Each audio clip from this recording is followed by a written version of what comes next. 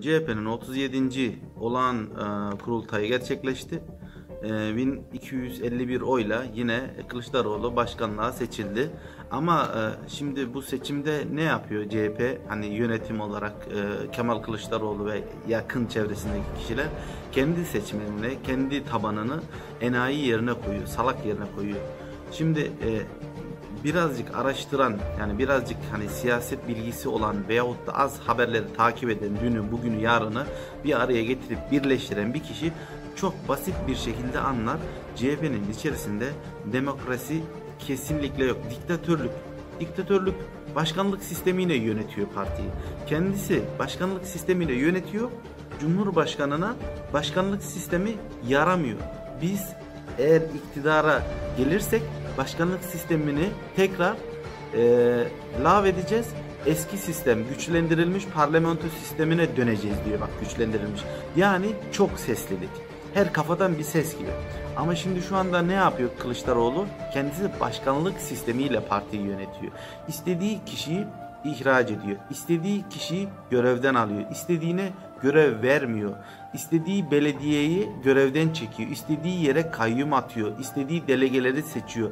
Tek kendisinin istediğinden hariç hiçbir şey CHP'nin içerisinde geliştirmiyor. Yani kendisinin söylemiyle diktatörlük sistemiyle partiyi yönetiyor.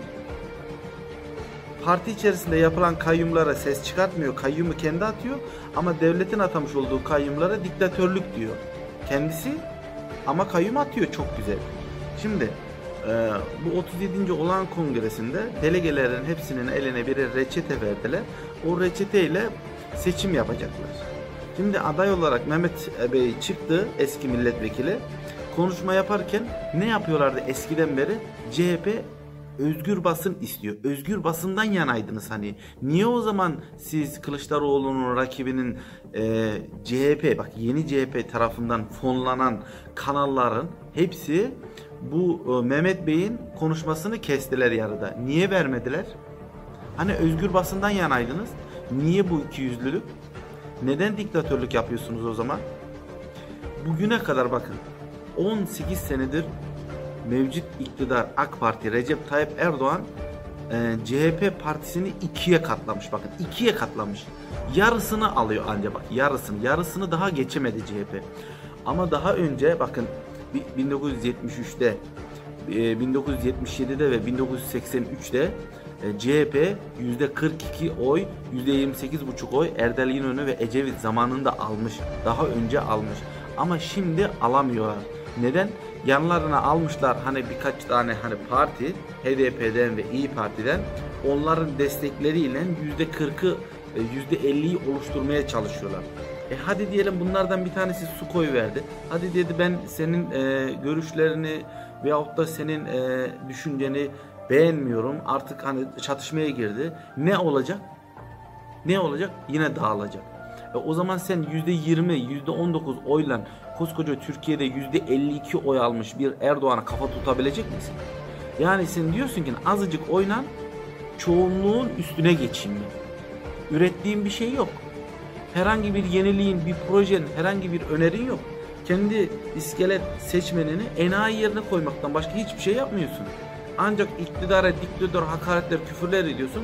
Bir takım kendi seçmenine alt e, tabakanı e, mutlu ediyorsun. Onları sevindiriyorsun. Onlar hani senin iktidar olmanı istedikleri için hani o partiyi destekledikleri için yaptığın işlerden memnun oluyor. Ama sen hiç AK Parti'den veyahut da MHP'den veyahut da dindar kesimden hiç kimseden oy alamıyorsun ki ne. Ama bak belediyelerde şu anda aldın. Belediyelerde aldın. Ama sen ne yapıyorsun? Sen belediyelerde bu, bu oyu aldın. Tekrar 37. kurultayda e, kendine çakma bir tane yani uyduruk bir tane aday çıkartıyorsun karşına rakip adamlarına bak kendi delegelerine önce imzayı verdirtiyorsun. Son dakika bak son dakika imzalayı çektirtiyorsun adamlardan adamları eliyorsun. Adamı karşındaki adamı yıpratıyorsun. Senin o, o delegelerin eline vermiş olduğun o reçeteler veyahut o tehditler, o şantajlar ne işe yarar, ne kadar e, geçerli olacak? Artık CHP'nin çoğu alt kademesindeki, çoğu tavanındaki insanlar gözünü açtılar. Artık CHP'nin içerisinde neler döndüğünü biliyorlar. CHP'nin içerisinde bir tane çete var. Aynı Muharrem İnce'nin dediği gibi, Ekrem İmamoğlu'nun dediği gibi orada bir çete var. Bu çete CHP'yi ele geçirmiş.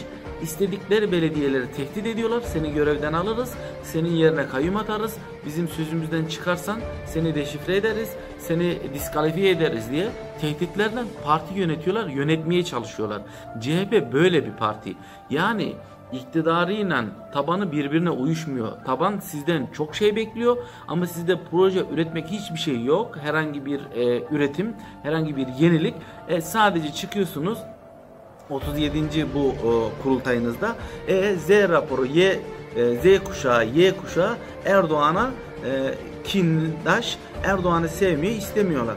Ya bunlar 2018 yılında oy kullanmadılar mı? Kullandılar.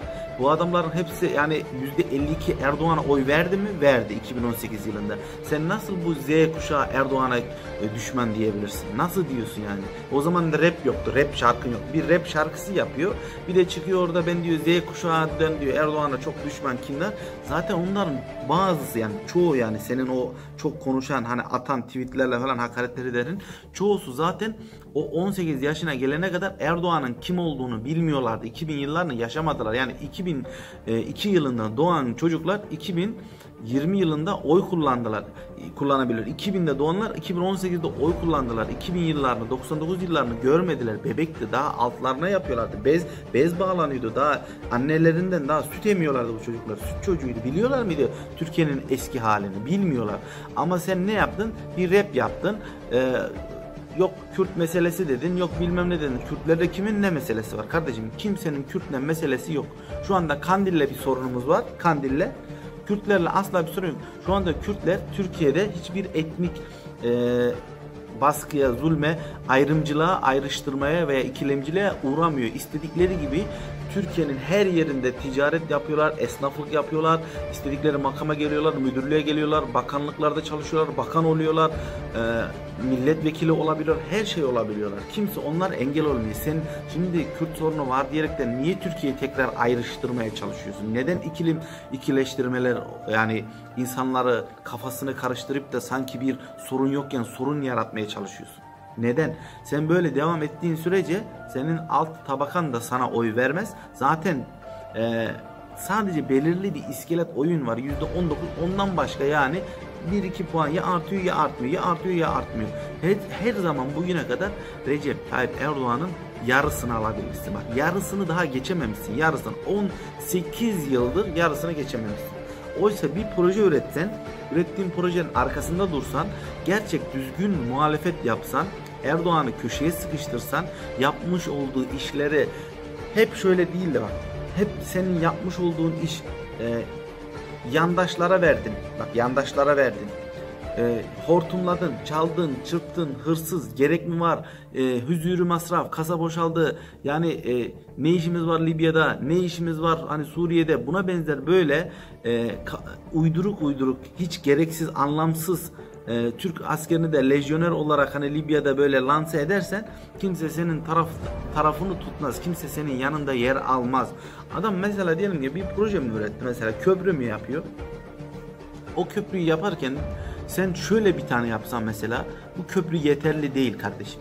10 sene sonra bu köprü bize az gelecek. Havalanı mı yapıyor? Bu havalanı küçük. Bu havalanı yetmez. Daha geniş yap. Daha modern yap.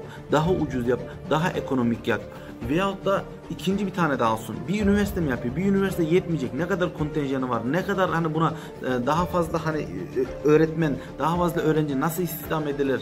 E, yeni meslek dalları mesela çıkarmaya çalıştığı zaman sağlık açısında kardeşim biz Avrupa'ya Avrupa'dan hani daha aşağılardayız. Avrupa'nın kademesine, Avrupa'nın e, sınıfına erişebileceğimiz hani erişebileceğimiz yeni makineler, yeni cihazlar, yeni hani sistemler, yeni doktorlar, yeni sağlıkçılar sen hani bunların önünü açıp çoğaltıp insanları huzura, refaha kavuşturabilmek için daha yeni projeler oturup mesela hiçbir çalışmam olmadan bin tane sana sayıyorum. Otursam çalışsam sabaha kadar bin tane yeni meslek dalları, yenilikler üretirim. Erdoğan'ı sen böyle köşeye sıkıştırmış olsan sen de bir şey yapıyorsun ya da yapacaksın seçilince diye senin seçmenin e, kendi e, hani e, iskelet oyun var ya ondan hariç diğer partilerden de birazcık daha oy alabilirsin. Bak sadece sadece domates şey patates ve soğan e, sebebiyle sadece patates ve soğan sebebiyle İstanbul'da bir dünya oy aldı. Sadece patates ve soğan zamlı diye. Ya iki tane ya iki tane. Yanına biber patlıcan bir şey daha eklemiş olsan demek ki ülkeyi de alacaksın. O yüzden birazcık yalan, hile veyahut da e, hiçbir e, proje üretmeden iftira ve hakaret üreterek siyasete devam edene kadarı birazcık yeni proje üretsen ya da bunu yapacakmış gibi dursan insanlardan daha fazla oy alırsın. Ama e, partinin içerisinde de seçiminde de e, ve ülkeye tekrar hani kazanım tekrar başkan olmaya gel e, olmaya aday olup kazandıktan sonra da Türkiye'de diktatörlük yapacaksın. Sadece adamlarını yerleştireceksin ve bir sonraki gelecek olan iktidar senden sonraki sana karşı herhangi bir hamle veyahut da senin istediğinin haricinde yeni bir yasa, teklif falan e, bir şey çıkarmaya çalıştığı andan itibaren hemen darbeyle onu tehdit edeceksin. Yerleştirmiş olduğun adamlar aracılığıyla. FETÖ bir kere darbe yaptı. Bütün dini kuruluşlar hepsini kapatalım dedi. Ama bugüne kadar FETÖ'den önce şimdiye kadar bütün darbeleri CHP yaptı. Kimse CHP'ye kapatalım demedi. Yani bu ülkede en büyük tehlike CHP olarak siz oluyorsunuz. Ee, Atatürk'ün kurmuş olduğu partinin içine ortasına çöreklendiniz, güzel yere tezgah açtınız. Hiç kimse de size hesap soramıyor. Belli başlı kurulu bir de hani oyunuz var. Kurul kalabalık bir oyunuz. Ee, iktidara geldiğinizde bir şey yapamayacaksınız. Böyle ne iktidar olalım ne e, koltuğumuzdan gerileyelim, geri düşelim. Öyle devam edelim, gidelim havasında. Türkiye'de bir e, kuru kalabalık, kuru hani ten, teneke hani boş teneke tıngırdaması, davul sesi gibi, davul çalar gibi öyle boş beleş sallayan, savuran bir e, grup halindesiniz. Başka da bir şey yok. Yani bir tane e, de, iktidarın önüne gerçekten halkın yararına bak. Böyle gerçekten elle tutulur, gözle görülür bir proje getirip de iktidarı sıkıştıran, gerçekten sıkıştıran ve projeyi de gündeme geçirecek hiçbir tane hareketiniz, hiçbir tane hani davranışınız, e, projeniz de bugüne kadar olmadı. Bu gidişle de bu gidişle de iskelet oylarla devam. Halkınızı yani kendi seçmeninizi enayi salak yerine koyuyorsunuz. Onlar da yani inanıyorlar işte ne yapacaksın öyle devam edeceksin. Hiçbir şey yapmayın oturun. Ondan sonra da küfür hakaret aynen devam. Evet arkadaşlar beni dinlediğiniz için teşekkür ederim. Bir sonraki videomuzda görüşmek dileğiyle lütfen kanalıma abone olup ve videomu beğenmeyi unutmayın. Hoşçakalın.